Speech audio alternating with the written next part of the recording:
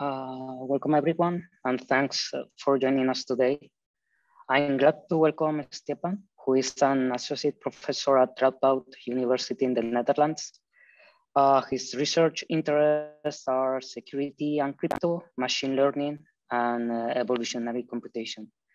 Uh, he has given more than 20 invited talks at conferences and summer schools, and he's also the author of uh, more than 100 referred papers.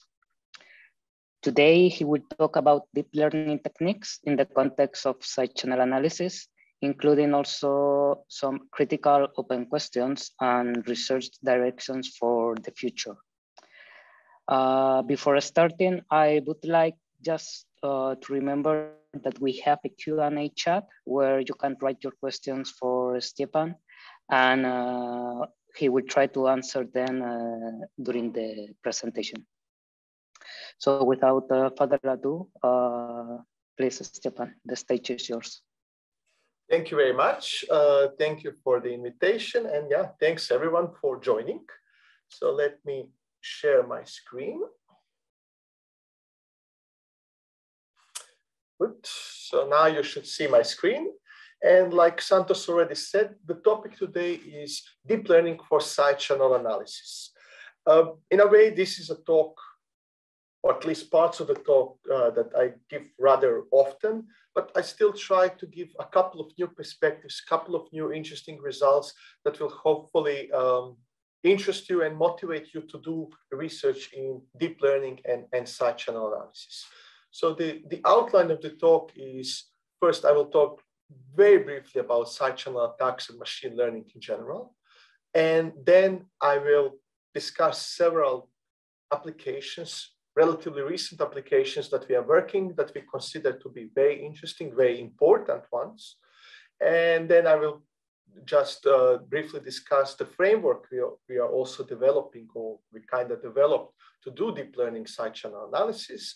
And then I will finish with challenges that I consider the domain has, that are the opportunities for us to, to do quality research. And finally, a brief conclusions to, to just wrap up the work. So where are we when we talk about side channel attacks? Well, when we talk about side channel attacks, we talk about a type of implementation attacks. And what is implementation attack? Is an attack that does not aim at the weakness of the algorithm, but at the weakness of the implementation. And side channel attacks are passive, non-invasive attacks. This basically means that the attacker observes, listens to some kind of signal, but does not interfere or changes the signal. And today, side channel attacks represent one of the most powerful category of attacks on cryptographic devices. But it's even more than that. It's more than just cryptographic devices. Uh, it's also becoming more and more relevant in doing the reverse engineering, um, attacking systems that do not have cryptographic uh, algorithms implemented maybe, but have some secret information. And we use then side channel regardless what type of side channel, to obtain that secret information. And how do we commonly divide side channel attacks? Well, we commonly divide side channel attacks into two categories, into direct attacks and two-stage attacks or profiling attacks.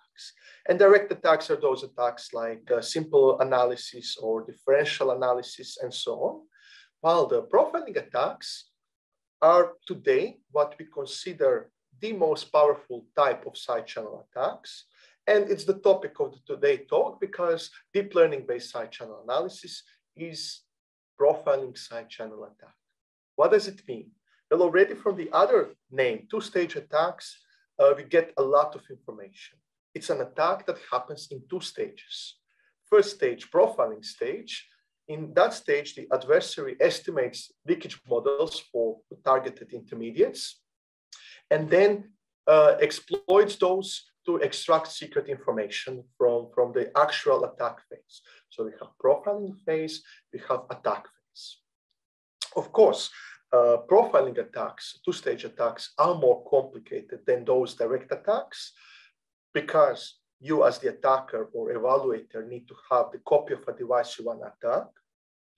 But if you have the copy of a device, and if you build a good model, good template, if in the uh, in the uh, jargon of template attack, then you have hopes that you, the performance of your attack will be much much better than the performance of direct attacks.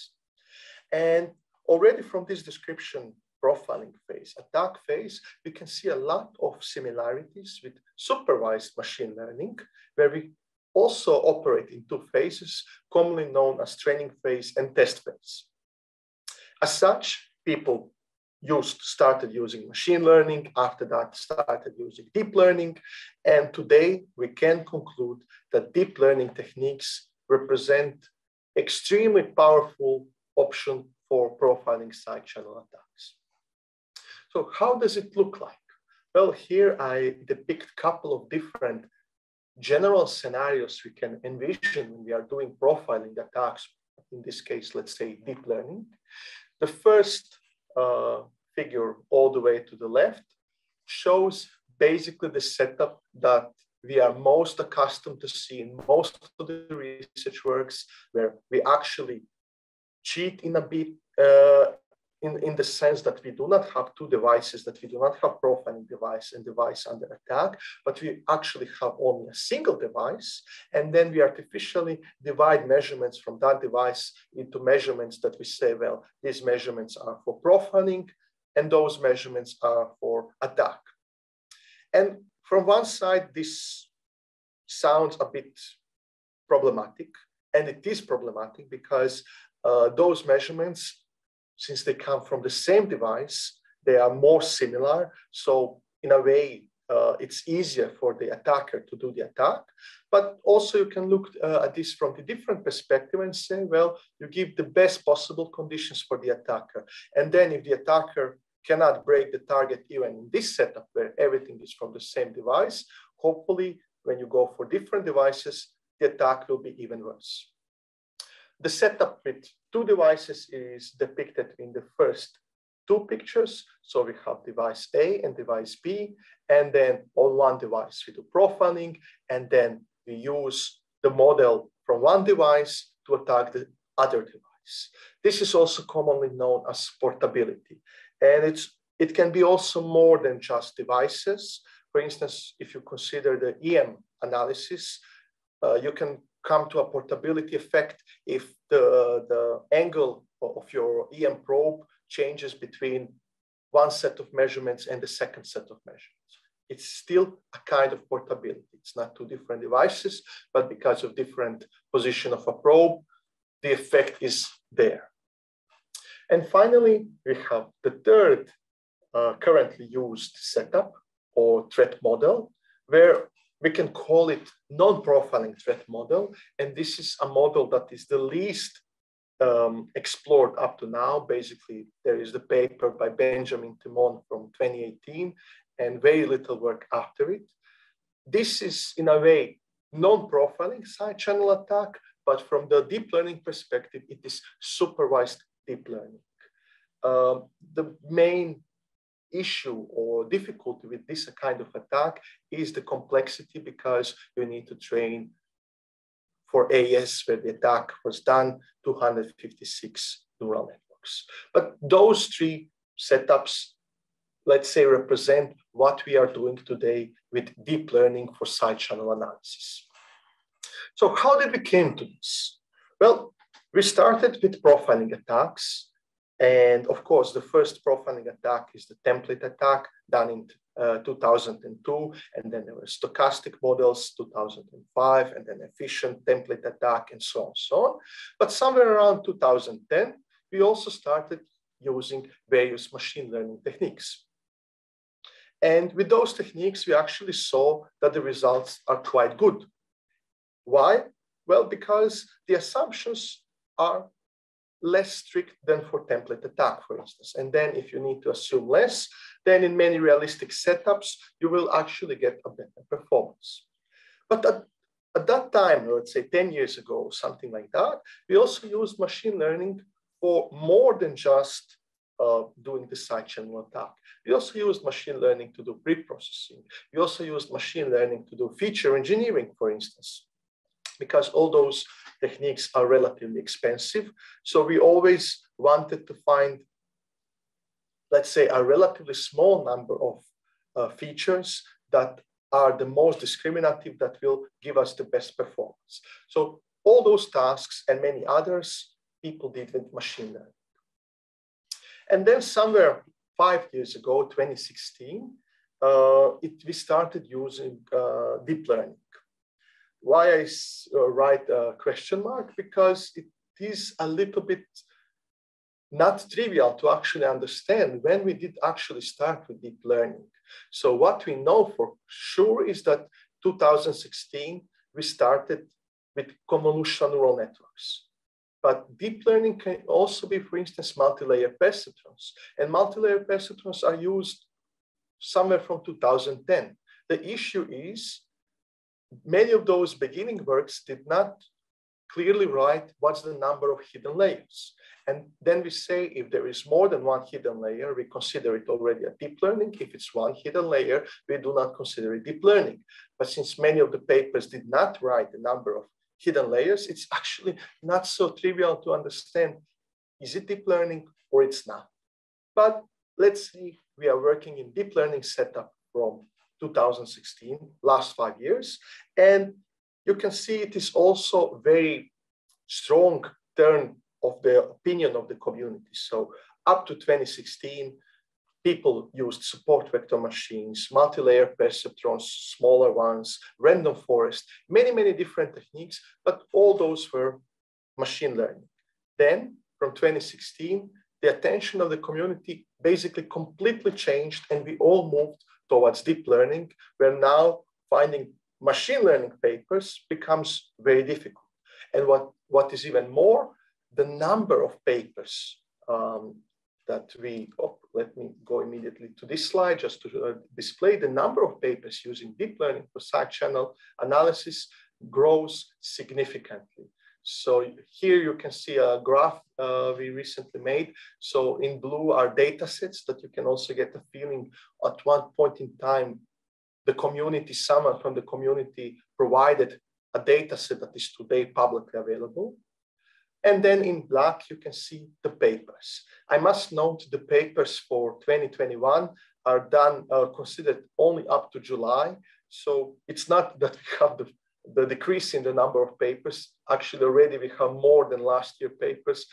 I just need to, to do a new statistics, check a bit more papers. But we can see actually there is a lot of papers considering deep learning and channel analysis.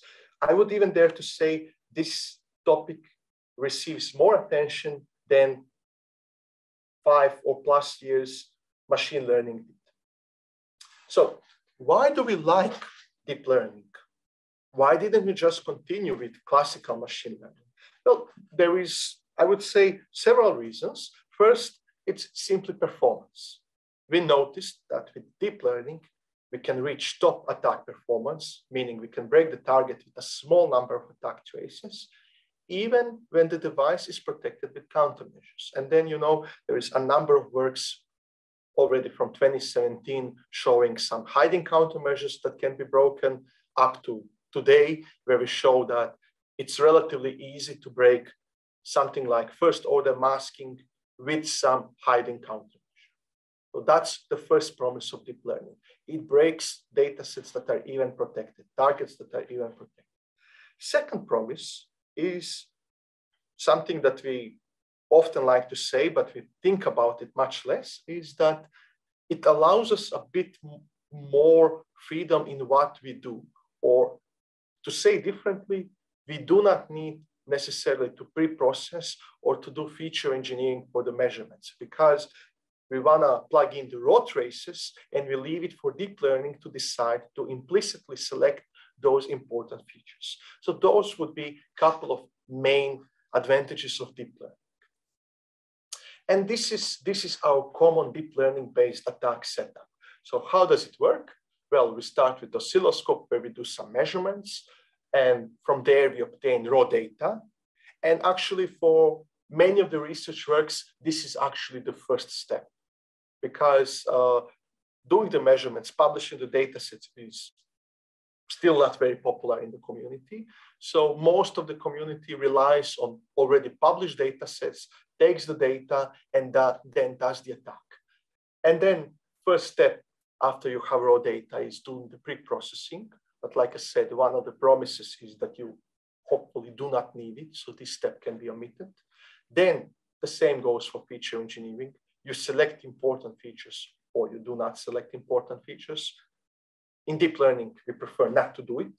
And then we have algorithm selection and model training, which is already becoming a little bit more complicated, simple, because while we do not consider or in the state of the art today so many different algorithms, two main algorithms are multi-layer perceptron and convolutional neural network. What we do is we try to do a decent uh, hyperparameter tuning. So finding those hyperparameters that will result in an architecture that will provide us with the best possible attack results.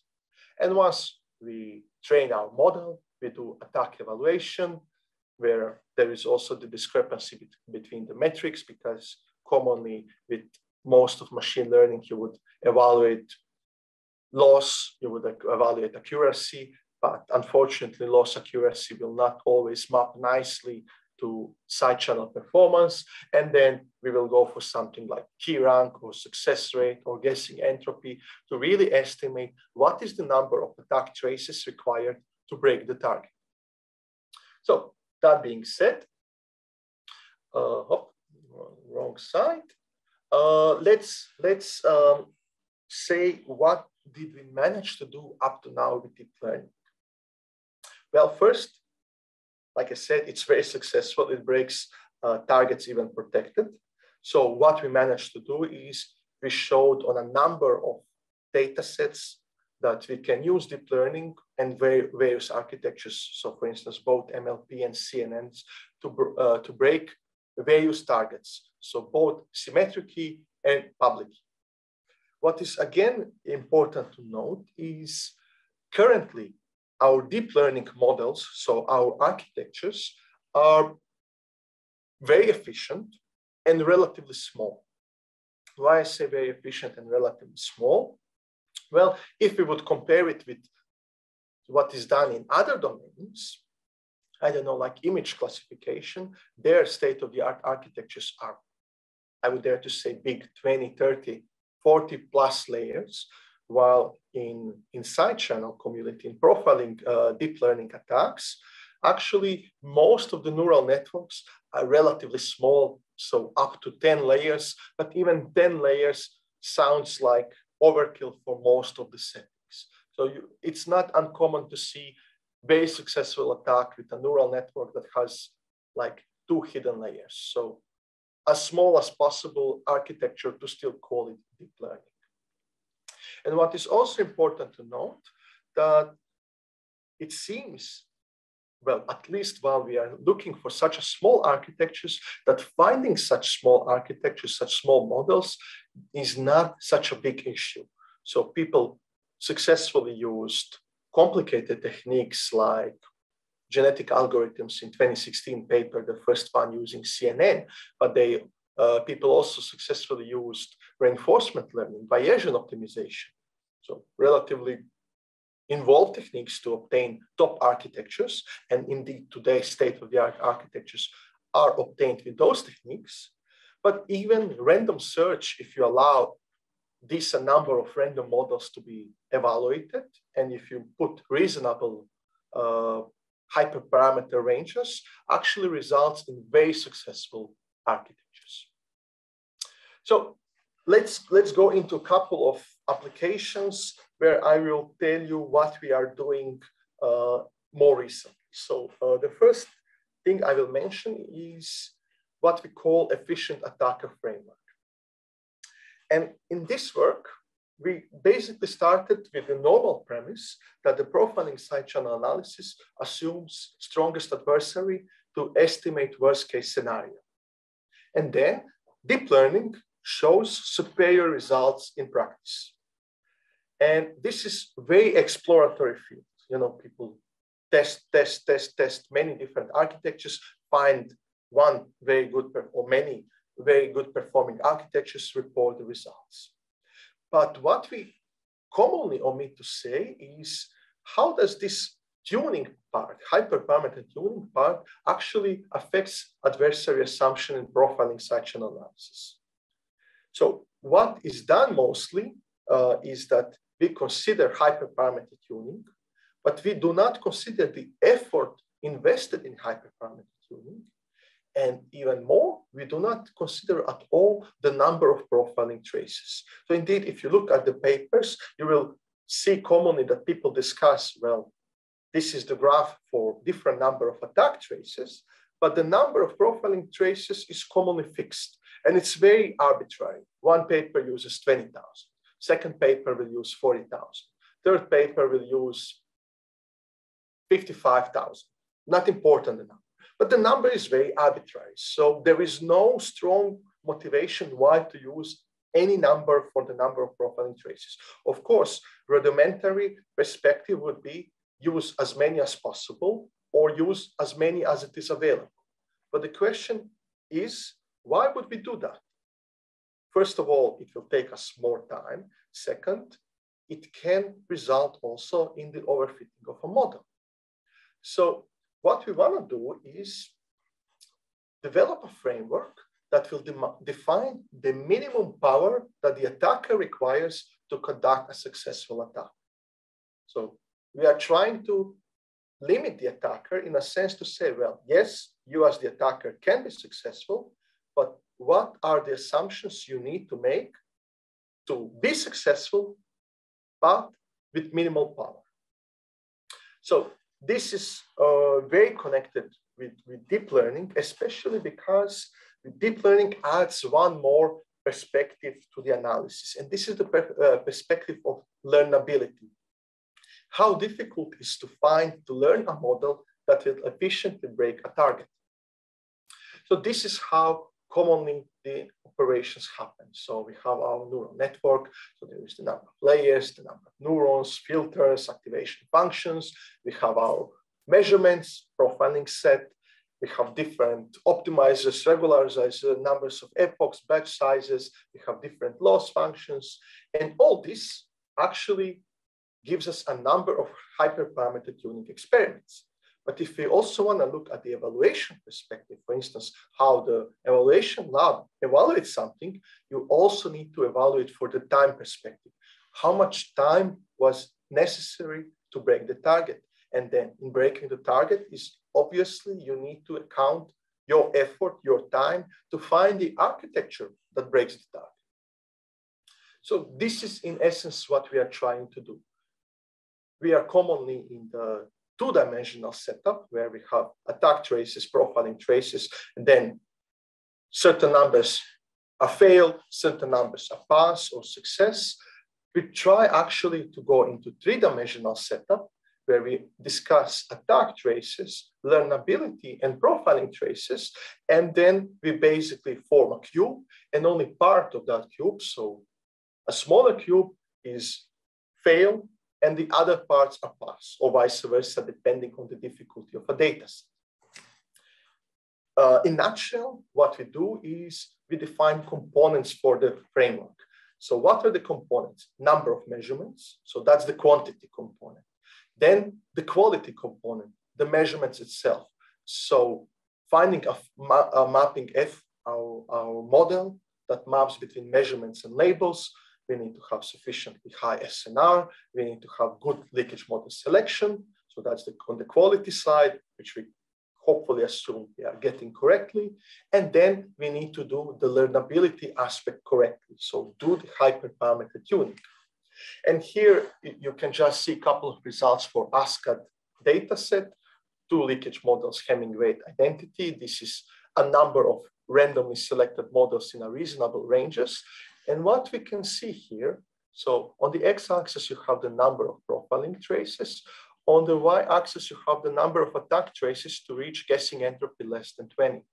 And while we can see, for instance, that with small number of profiling traces, our attack indeed is not uh, very successful if we consider small number of attack traces, but the differences between using 80,000 profiling traces or 100,000 profiling traces are very small. For some setups, if we consider more models, there is actually even no difference at all for the best model. What does it tell us? Well, for let's say the naive attacker that would use 100,000 measurements, the attacker would say, I'm successful.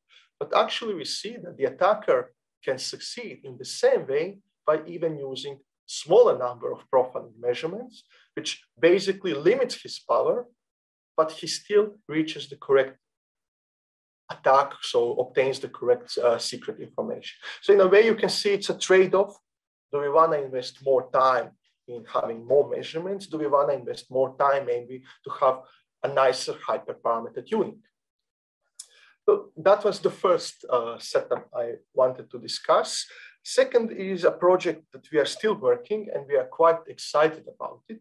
And it connects with the topic we consider to be extremely important for side channel. And this is the topic of explainability, how to understand what a neural network is doing. So we, we struggled and we are struggling in a way in last two years with different approaches. And what we are currently working and we consider to have um, a very nice uh, performance, a very nice result, is, this, is the ablation. So what is ablation? It's a process which is actually long used in neuroscience where controlled damages are introduced in neural tissue to investigate the impact of damages on the brain capability to perform specific tasks. So what do we do with ablation in neural networks? Well, we investigate what is the system performance by removing certain components to understand what is the contribution of that component to a system. So trivially think of a neural network, and then we start removing randomly certain neurons. We remove, we remove neurons and nothing happens. Well, obviously those neurons were not important for the process. We remove neurons, something happens. Okay, this is the first clue that we now can do better analysis of these neurons and understand why those neurons are important to get the final result. Of course, the ablation, how it's commonly used in, in machine learning is not readily applicable for side channel analysis. So we actually needed to develop a custom side channel analysis methodology for, for ablation. I will not go through the, through the pseudocode uh, algorithm, but it's not difficult. It basically follows the approach I said now. You remove something, you evaluate the effect. Based on that, you conclude something what I can briefly uh, show you is just a couple of results. So for instance, here I show you some results when we add Gaussian noise, where you see before, after, something happening before ablation and after ablation, and L, L1 to L whatever is the layer. So what we actually can see here is that this is 10% uh, is just the, the number of uh, neurons that we ablate. So what we actually can see, for instance, this was the uh, Gaussian noise case. So when, when someone would add Gaussian noise as a countermeasure, as a hiding countermeasure, we could see that neural networks tend to deal with Gaussian noise as soon as possible or at the first layers. So this was somehow telling us, well, if we do a change, we will see the biggest change in the first layers for Gaussian noise. But then if we would move for something like desynchronization, which is uh, not amplitude uh, type of uh, hiding countermeasure, but time type of a countermeasure, we actually notice that neural networks tend to extend the influence and tend to deal with desynchronization also in deeper layers. The same, uh, the same thing we also saw for even more complicated um, countermeasures like jitter, the, the moving where the uh, neural network tries to deal with this, a countermeasure like that happens in even deeper layers. So we could actually realize that different countermeasures are deal, dealt with from the neural network perspective in different layers, where actually simpler countermeasures are dealt with, at the beginning, while more complicated, especially time-based countermeasures are actually dealt with in inner layers, so deeper layers. In this way, we could get a feeling of the explainability because now we can understand what layer plays important role for certain countermeasure. We can also understand even how to improve uh, the performance because based on that, we actually know at what part of a neural network we need to add something. But still, what we do not know how to explain is why, why exactly that specific layer is important. What happens inside the layer that makes the processing of a countermeasure resolved.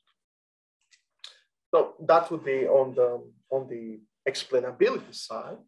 Uh, next, I will also mention uh, recent work we did on public key crypto. Why? Because currently public key is much less represented in state-of-the-art deep learning than, than attacks, for instance, on AES. So almost all the papers consider AES, and then there is a little number of papers that go in public key crypto. And in public key crypto, uh, if we talk about real world implementation, then we, of course, must also consider state of the art countermeasures, which would be uh, based on randomization of the private or ephemeral keys.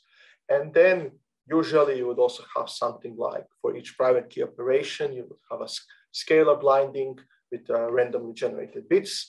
And then how one would commonly attack it he, she would use something along the lines of horizontal attack based on a single trace and even that kind of attack does actually pose a serious threat for protected ECC or RSA implementation.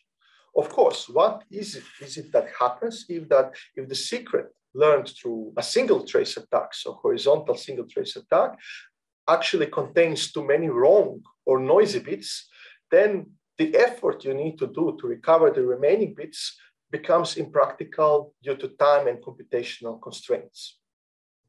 And then if you attack several single traces, you can actually recover several partially correct random private keys. And then you use that information to label subtraces, so uh, trace intervals uh, representing processing of a single private key bit. And we can use that, for instance, to train a neural network. What's the point? Well, the point is that if our horizontal attack kind of works, but it's far from being successful. So for instance, because we are talking about bits, it's binary classification. So either bit can be zero or one. So 50% guess is random guessing. Everything above 50%, it's successful. But of course, if you are around 51, 52%, you are not doing very well.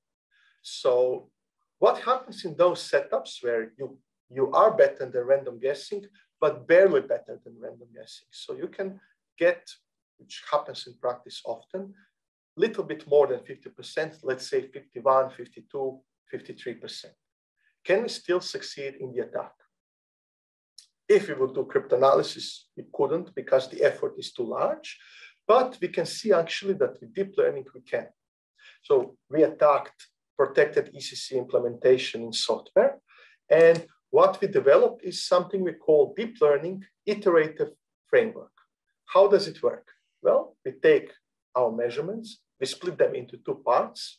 We train on one part, we predict on the other part, and we relabel the other part. Then we train on the other part, we predict on the first part, and we relabel the first part. We combine and shuffle. That's the iteration one. We repeat this in a number of iterations. Why does this work? Well, as long as you start with more than 50% uh, correct uh, bits from your horizontal attack, your neural network in every iteration will manage to correct, to correctly relabel some of the wrong bits. And with that iterative process, you will relabel in every iteration a couple of wrong bits and more and more and more and more. And you will repeat this procedure until you reach a successful attack. So how does it really work in practice? So here I show you just a couple of results for uh, a data set called CSWAP arithmet. Uh, and we can see here maximum minimum average. So deep learning approach kind of works. You know, you get a little bit better with framework iterations, but not much. But we can also add something like data augmentation. So increase the number of measurements with synthetic measurements. And then our performance immediately improves. We can add a little bit more regularization with dropout. We can see that the performance improves even more. We can also combine regularization and data augmentation. And you can see that from, from a framework that worked on average slightly better than 50%, so slightly better than random guessing, we get framework that works on average more than 80% accuracy, and in maximum value, it reaches 100%. For a different data set, the results are even more impressive. So you can easily reach average more than 90% and maximum 100%. What does it mean? It means we start with something that is barely above random guess and we reach 100% accuracy. Every bit of the private key is successfully recovered. Finally, uh, application I will mention is feature selection. And now you can immediately say well, feature selection. In the beginning, you said we do not need feature selection with deep learning. And indeed, this is interesting perspective. So I did said one of the advantages of, of using deep learning is that we do not need uh, feature selection. But what happens still in with most of the, our research works, we, we do feature selection. So the question is, can we obtain even better results if we actually really go into setup and say, well, now we do not do any kind of feature selection, but we leave everything for a neural network. And of course, it must be clear that from the machine learning perspective, working with more features than we currently work is not a problem. If you compare with other domains, our number of features is very small. So just two commonly used data sets in side channel analysis, ASCAD with fixed key, ASCAD with random keys. So ASCAD with fixed key, there is 100,000 features in every trace. And actually, we commonly use a pre-selected window of 700 features. For with random keys, there is 250,000 features in every trace. And we commonly use a pre-selected window of 1,400 features. So it's a huge difference. Why do we use those windows? Well, because the original publications suggested those uh, windows to be good windows to break the target. And this is completely correct. But what happens if we do not use those windows? So we, we defined four general scenarios for side channel analysis feature selection. But this is not a technique. This is just the description there is something that is we call refined point of interest, where we assume adversary has access to mask shares and it's enough knowledge about the implementation to select points of interest. So really pinpoint those most important ones. Then there is the optimized point of interest, where the adversary has access to random secret shares and implementation knowledge. The main difference from the previous one is that this one will consider the minimum trace interval where the main SNR peaks happen. Then we uh, designed what we call semi-optimized point of interest, where we assume that the adversary selects a larger interval and guesses the points of interest location inside that Uh, complete measured interval. And finally, non-optimized point of interest setup, where we assume that the attacker must consider the whole trace interval, but can resample for the sake of efficiency, computational efficiency. So resampling like very simple, you know, combining 10 points into one or something like that. And just to show you various results.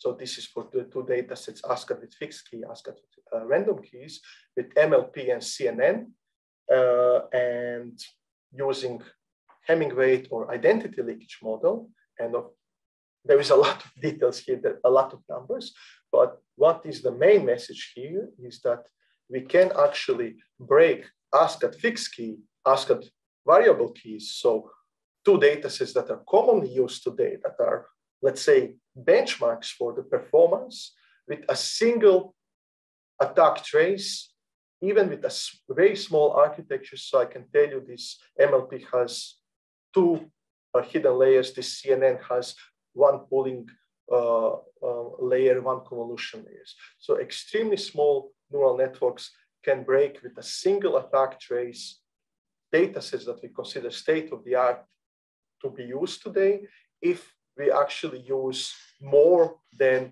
originally suggested number of features. So this actually tells us that indeed, not only that deep learning does not need we do feature engineering, actually deep learning is better if we do not do feature engineering and we leave it for deep learning to decide what features are important. Uh, I will really go quickly through these uh, three slides. I will just mention that one of the big issues with, with deep learning side channel analysis is there is a lot of papers, there is a lot of developments. It's not easy to follow. It's not easy to implement it. It's not easy to test it. That's why we recently also tried um, uh, to make a publicly available framework that will allow side channel community efficient and easy usage of, of deep learning for side channel analysis. And we made something called ICE framework. And yeah, we kind of consider it to be quite nice. It, it has a lot of functionalities. So it, it also has graphical user interface and reproducibility and so on, so on. And if anyone would be interested, you can obtain the framework from, from the link. I will also share the slides later, or you can also send me mail. So to conclude, what are the challenges we face today? I will uh, divide challenges based on those machine learning process flow phases. When we talk about raw data, the biggest challenges are actually that we consider mostly software implementation with limited countermeasures. This we can easily break with deep learning. So what we need to do is consider hardware implementation consider higher order protection. So this is to really see what, what are the performance of deep learning. We need to attack something worth attacking. On data preprocessing, people say use data augmentation, don't use data augmentation, use this, don't use that. So what we are still missing is a clear set of guidelines, what preprocessing techniques to use and in what settings. When should I use data augmentation? Always or just sometimes. So things like that we actually do not know. For feature engineering, the question is, do we need feature engineering? Well, the most recent results that we made kind of suggest no, we should not. It's not that we don't need it; we should avoid it because the performance is much better. But it's still too soon to say in general you should never do feature engineering. So more clarity on this would be uh, very welcome. On the algorithm selection side, uh, what we commonly do is we use small data sets. So 100,000 measurements, whatever, it's all small. So it's questionable our small neural networks that we are using today, will it be also insufficient and enough when we start using large, very difficult data sets? So this is, this is interesting perspective. Everything for now, we, we are very successful with one to five hidden layers. What happens if we go for millions of traces for a very good protected count, uh, implementation that is hardware based? Can we still break it so efficiently with such a small architecture? Or then our neural networks will become as large as in other domains? It's very difficult to answer that. Uh, what are the most important hyperparameters? There are so many for convolutional neural networks, for instance. Which one to tune? All of them? Well, then you get huge number of models to test. How to know which ones are the most important? People also suggest, let's say, relatively new trend, custom elements for uh, side channel analysis and deep learning, like custom loss functions. All this is very nice, but in general, it also increases the number of hyperparameters to test. So again, something we don't yet fully understand what to do. When we talk about attack evaluation, well, we don't still understand completely the relationship between side channel metrics and model learned parameters. We do not understand how any selected hyperparameter will directly make a model fail or succeed. And we do not always know how to estimate the attack performance based on machine learning metrics, since the attack performance is in the end assessed with side channel metrics. So what is next? I would just need to name three big questions, how to do unsupervised deep learning side channel attack, explainability, difficult targets, whatever difficult target means. To conclude, today, in my opinion, deep learning does represent the most powerful option for side channel analysis, at least from the academic perspective. What is important to note is that our state of the art is much simpler than state of the art in other domains. And what we also notice, there is a lot of knowledge transferable from other domains, and we should not be afraid to trans transfer that knowledge. We should not invent something just for the sake of saying, look, this is something completely new. Yes, if we need it, this is a great option. But if other domains, machine learning already developed something to solve a specific challenge, I believe the proper way is actually using what we already know. So not reinventing the wheel. And finally, the big, big question that constantly remains, what do new attacks teach us about the security of the device and how to improve the security of the device? I told you, for instance, we broke ASCAD with a single attack trace. Sounds great, but how does this result actually tell us what should we change in that implementation to make ASCAD more secure? Of course, trivially, we would say more trace, um, higher order countermeasure, hardware implementation, so on, so on. But the, the exactly what to do, this is very difficult and we don't know how to map that knowledge. And with this, uh, thank you for your attention. And if you have any questions, I would be very happy to answer. And if you do not have any questions now, uh, you can also contact me on any of my email ad addresses and I will do my best to answer your questions later.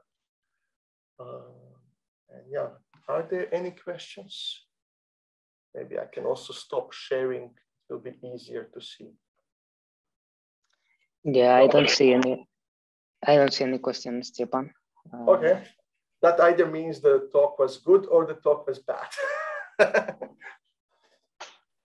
well, actually, there is a. Oh, I don't. Yeah. Okay. I think you can uh. How successful are meta heuristics such as genetic algorithms for side channel analysis? Uh, thank you. Uh, that's that's very good question. Um, I actually do not know. Uh, let me explain. Uh, already the first paper from 2016 by Maghrebi et al., the first paper that used convolutional neural networks, in the appendix they write, we use genetic algorithms to do hyperparameter tuning. From that information, one would say, okay, okay, it seems, it seems that it works. Unfortunately, there are no details in the paper to really understand what happened. Uh, what we did, last, well, this year, almost one year ago, we tried to use evolutionary algorithms not genetic algorithm, but genetic programming to see can we evolve custom activation functions for side analysis? And the answer is actually yes, you can make custom activation functions. But the question is, do we want to do it? Because um, those are very specific for very specific neural networks for very specific data sets. So you can get something that works better than, I don't know, ReLU but that will work better than ReLU for that specific setup. So it works, but it's very expensive. Beyond that, uh, there is the whole domain of neuroevolution, uh, where you can do neuroevolution uh, type one, neuroevolution type two. So either evolve architectures or evolve architectures and weights. I think this is very unexplored. There is a paper by Fateme Ganji and, and others. They did uh, something along those lines with the system they called InfoNEAT, and they, they show that neuroevolution does help. And I think this is a nice beginning result, but it's still questionable because it's also very expensive. I mean, for your evolutionary algorithm to find something, it's very expensive. Does it make sense compared to something simple like random search? Random search works, why to complicate? or Bayesian optimization is also very lightweight process. So I think neuroevolution has a place to be investigated, but it's not investigated enough. Can you elaborate how much time space these attacks need and compare this effort with other state-of-the-art attacks which do not use side channel brute force attacks? Mm -hmm. Well, uh, this is this is a very general question that is not very easy to answer because depends on on what kind of data set do you uh, attack. But in general, for what is currently done in publicly available data sets, uh, how much space time? Well, if you already have a good model, you are you are done in if you have a decent laptop, couple of minutes, hours, I don't know, depending on exactly how many profiling traces you want to use. If you also want to find a good architecture, then, for instance, we did uh, experiments with Bayesian optimization, and it took us after we implemented Bayesian optimization for side channel, of course, but it took us on average five hours to find the best architectures we managed to find. And those architectures today are still somewhere state of the art. So the effort is not great, uh, not very large. Space, yeah, I mean, it's nothing big. Those architectures are very small. The number of trainable parameters, if you want to talk in that direction, is yeah, from 10,000, let's say, up to 1 million which is of course quite large range I'm giving you, but very small compared to, I don't know, state of the art uh, uh, G, GT uh, models for, for uh, trans, uh, that has what, 157 million trainable parameters. So ours are very, very small architectures. So the effort, the main effort comes today for deep learning side channel analysis in hyperparameter tuning. Since we see the current state of the art does not require a lot of hyperparameter tuning, it seems we are very efficient.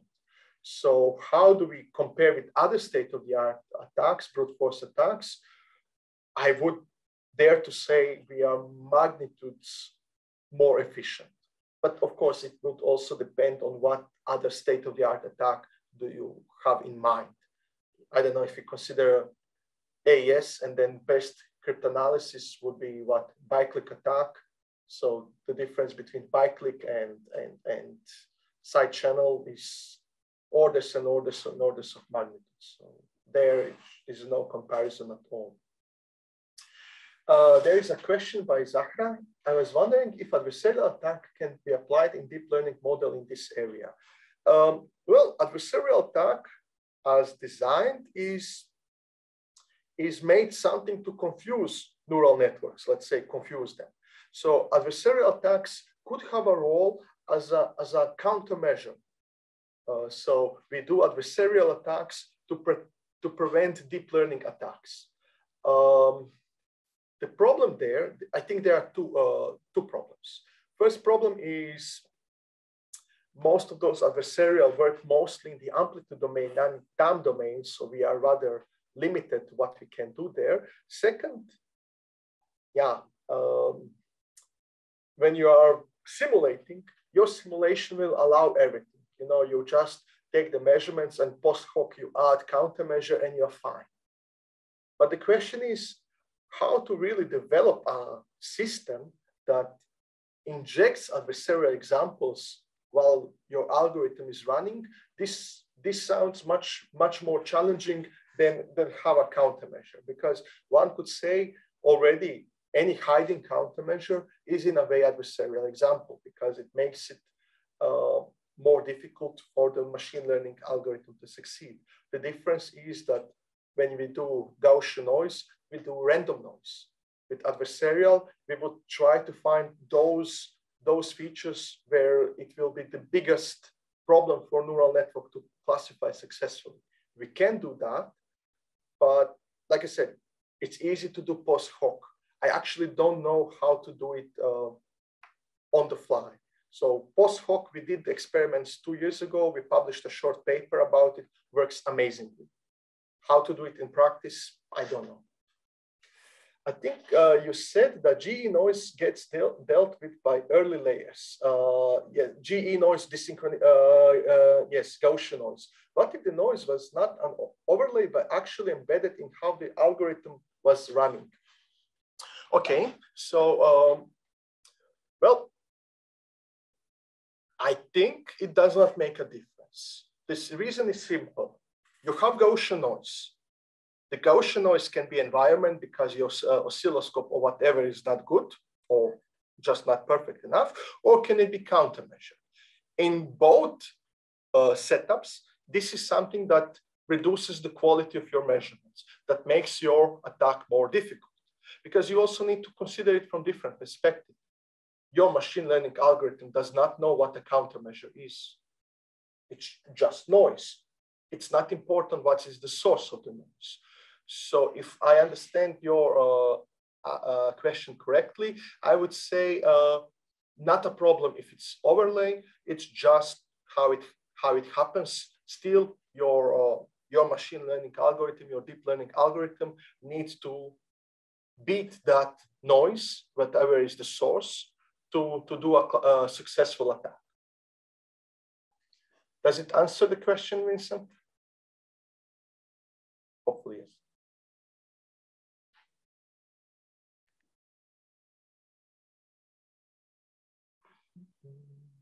Are there more questions?